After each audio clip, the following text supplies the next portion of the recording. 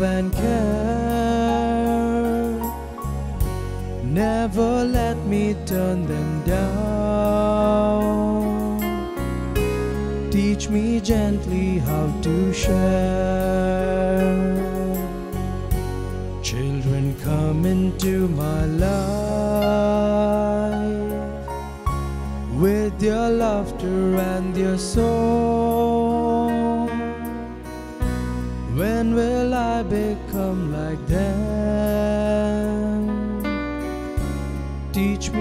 To sing along.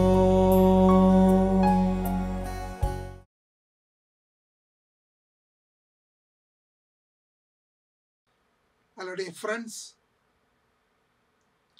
Okay, we'll continue with the second servant song. Yesterday we saw to some extent the implications, the meanings, and also the consequences of the mission given to the servant. The servant is called by God even before he is born. And God has made him a capable instrument for the chosen purpose. And that is why it is said, God made my mouth like a sharp sword, and my tongue like a polished arrow.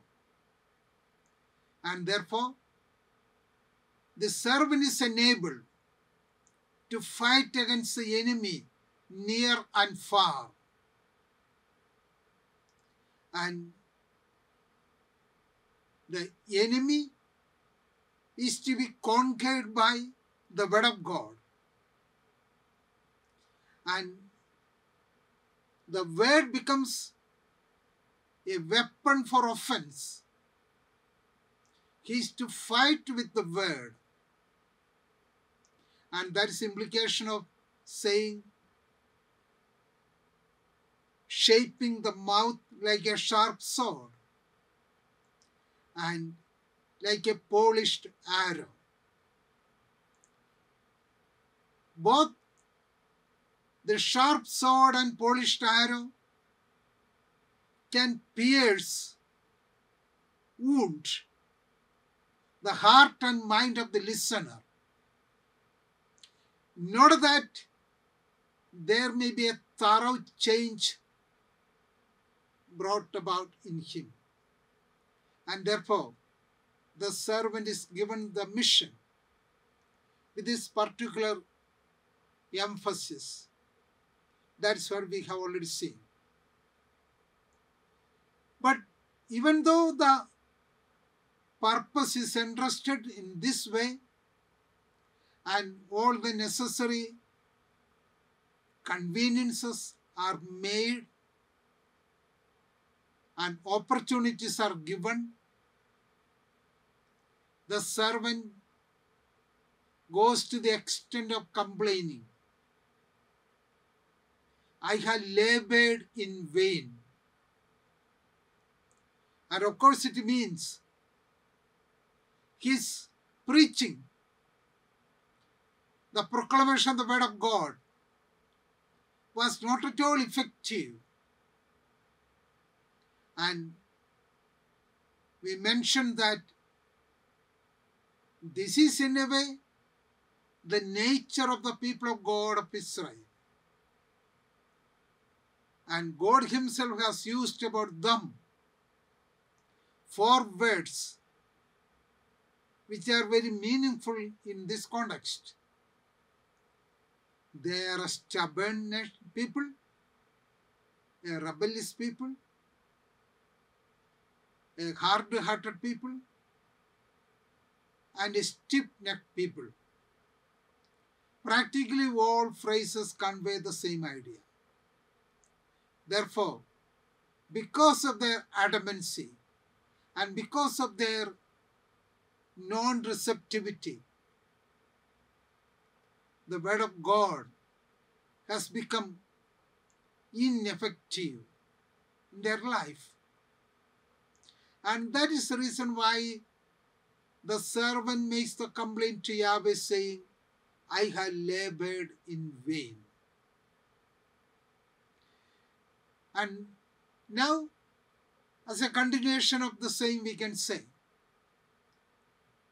when the servant complains, I labored in vain, he also expresses the great conviction that he is always supported by God and he is the one who is there to hold on to Yahweh in strong faith, confidence, and trust. And these words are clearly brought out here in the text. We read in verse 4 2, 4 second part. Yet surely my cause is with the Lord, and my reward with my God. Therefore, these words reveal the great faith of the servant in Yahweh, in God. Even if my mission has failed, even if I feel that I have labored in vain, I know that I am protected by Yahweh and I am continuing my mission understood by Yahweh. And I have great faith and trust in Him. And because of this faith and trust, the words of complaint does not become a blasphemy, but it becomes a beautiful prayer. And we know about it. It is a speciality of the biblical language of prayer. I may pour out my heart in frustration sometimes before God. But it is not actually challenging God or I am making a complaint that God has forsaken me. But on the other hand, it is an expression of one's own faith because at the same breath or at the same moment, the servant confesses, I have great trust, faith in Yahweh, and hence his complaint is not a blasphemy but a real prayer.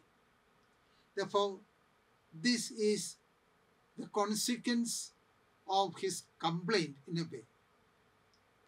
Thus, he has made a complaint to Yahweh that he has labored in vain, but Yahweh makes that complaint even a beautiful prayer. And this is what is done by the servant. And after the servant has made such a complaint, expressing his great faith and trust in the Lord Himself. Now, God is entrusting him with a new mission. The first mission given to him was to go and proclaim, and he did. But alas, there was no much use of it, use for it. And now, therefore, God is giving him a further mission. And thus we see God is not finding fault with him for not accomplishing the task entrusted. But God is widening his mission or extending his mission. And that's very important. God is executing his own plan and not the servant's plan.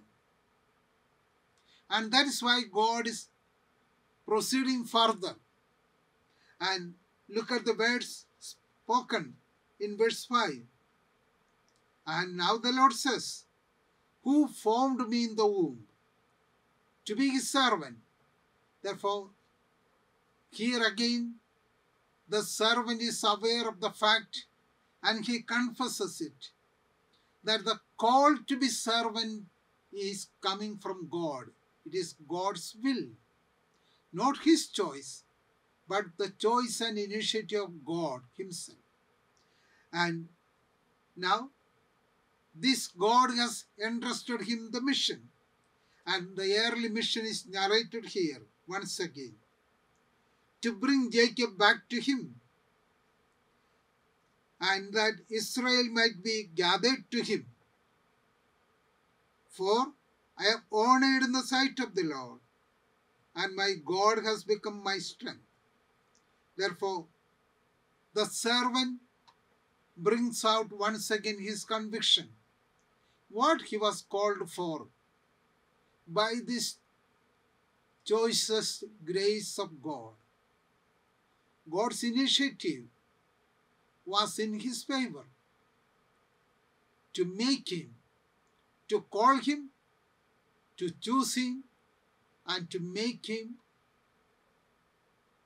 his messenger to proclaim the message of salvation.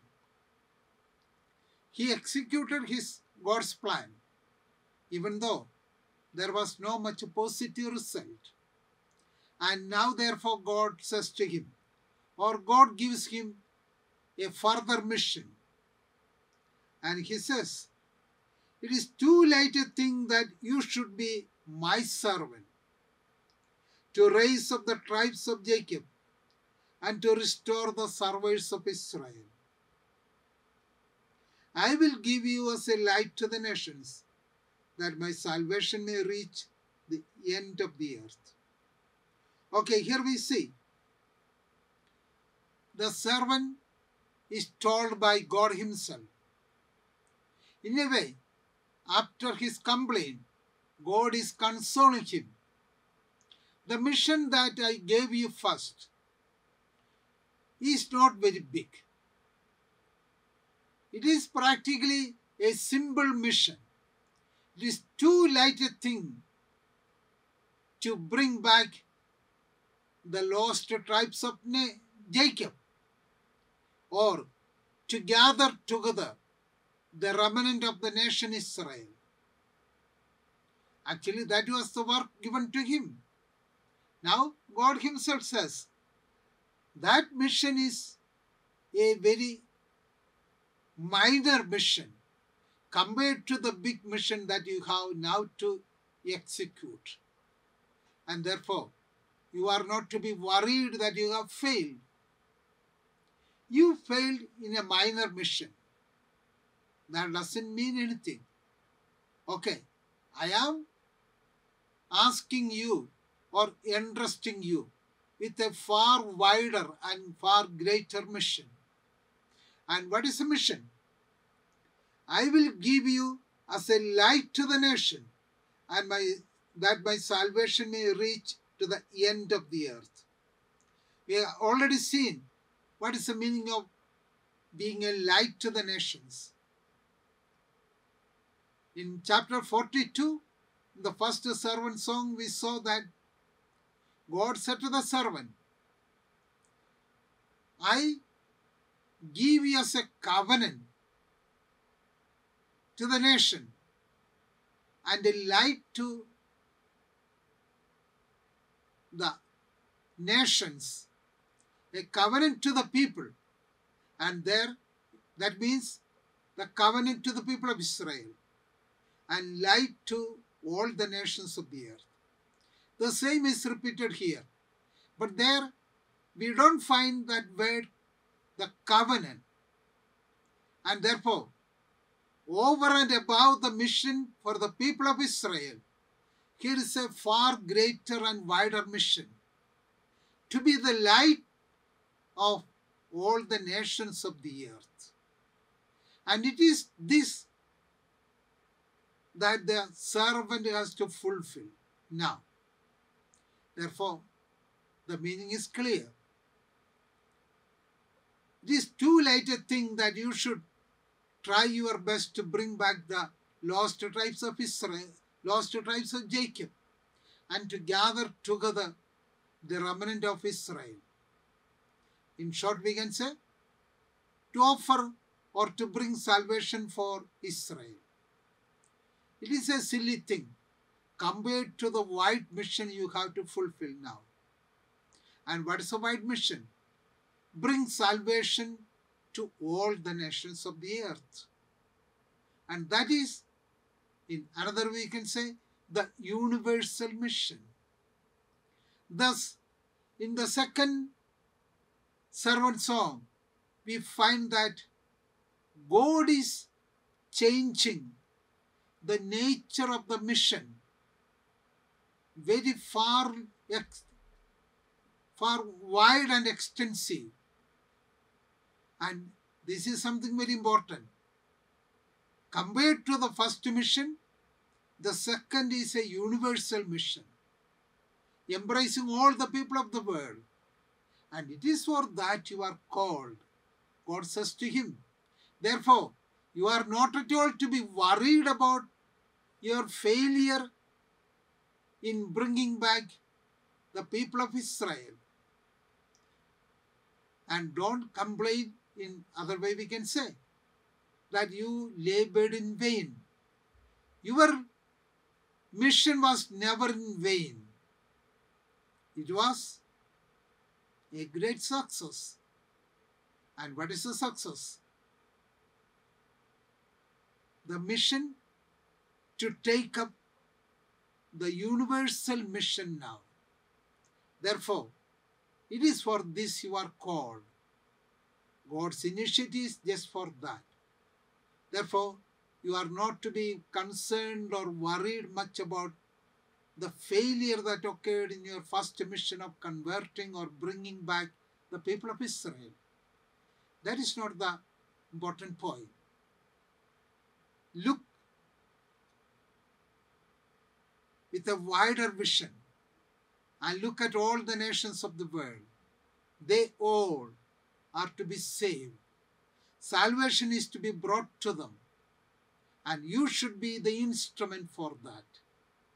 And that is why God says to him, Don't say, I have labored in vain. God knows what you did, and God knows the consequences of what it did.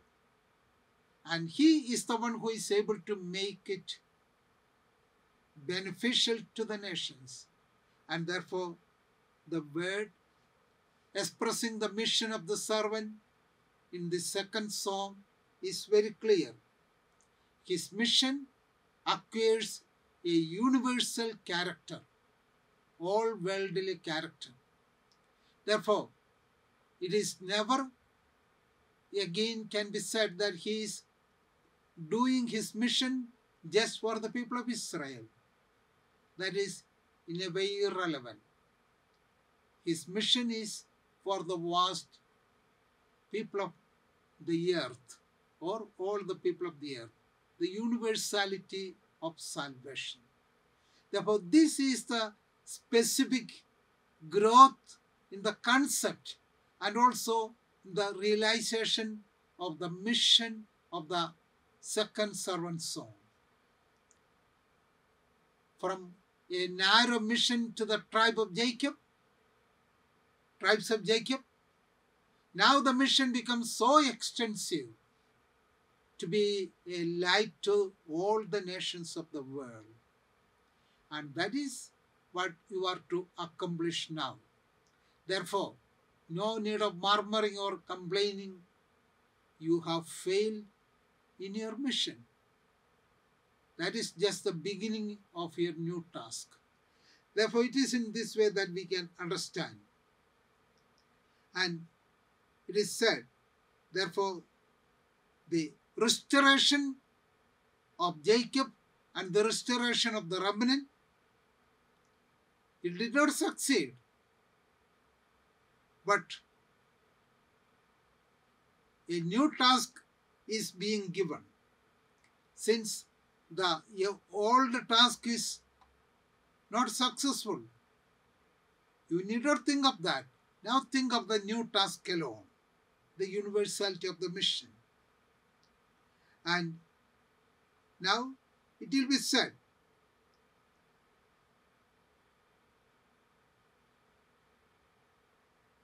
in verse 5 the mission was a rather restricted mission or the first mission. It was restricted. But verse 6 it is made very elaborate. And that is why it is said to raise up the tribes of to Okay, verse 6 it affirms the new task from the exile to restore them. And that is what we can say. And to restore the survivors of Israel. And that is the first task. But more than that, the universal salvation is aimed at. Okay, further it is said, he is called to be a light to the nations. And therefore we can see he is the servant is supposed to be the universal savior. And the mission of the servant is universal in nature. Therefore, that is what we find here. And when the universal mission is given, it is not just enough that the servant goes and proclaims the message or the word of God. But he should proclaim it in such a way that the salvation may reach to the end of the earth, even to the farthest country. Salvation should be made available. Therefore, here it is a very big change the scope of the mission, we can say. And that is why it is said, it is not merely to proclaim. That was the task in the first mission. But here, something more is needed to bring salvation to the ends of the earth. Okay, how does salvation occur? Salvation occurs by proclamation of the word, but not by that alone. The word that the prophet speaks is to be accepted, acknowledged, and assimilated by the one who hears it. And when one assimilates the word, one becomes ready to accept God's command. And when one is ready to God's accept God's commandments, he will be saved. Therefore, it is not just for the proclamation that the servant is sent here, but to bring concrete salvation to the ends of the earth. And therefore, we can see the mission is extended, the scope is extended. And in the second level, the servant will surely succeed. And that is implication. And therefore, I will give you as a light to the nations. And when you become a light, it is in this light that others can see God and His qualities. And they can come to realize God. And that is how you are supposed to be a light. And then, when you proclaim the word, it should be done in such a way that he receives and acknowledges the Savior, the Creator, the Redeemer. And when that occurs, they are ready to accept the great reality of salvation. And thus we see God gives him a new mission, and this new mission means proclaim and proclaim the word of God to the ends of the earth and in such a way that salvation may reach all the nations. Therefore, it is not merely the proclamation that is sufficient, but all the people should accept Yahweh, His supremacy, His commandments, and acknowledge Him as God and Savior. And naturally, the mission will be successful. And then only we can say that the servant is really a light for the nations of the world. And that is the nature of the universal mission he is entrusted with. And again, we see the concept that we found in chapter 42 is repeated here in verse 8. Thus says the Lord, in a time of favor I have answered you. On a day of salvation I have helped you. I have kept you and given you as a covenant to the people to establish the land, to apportion the desolate heritages, saying to the prisoners, Come out. To those who are in darkness, show yourself. They shall feed along the ways, on all the bare heights shall be their pasture.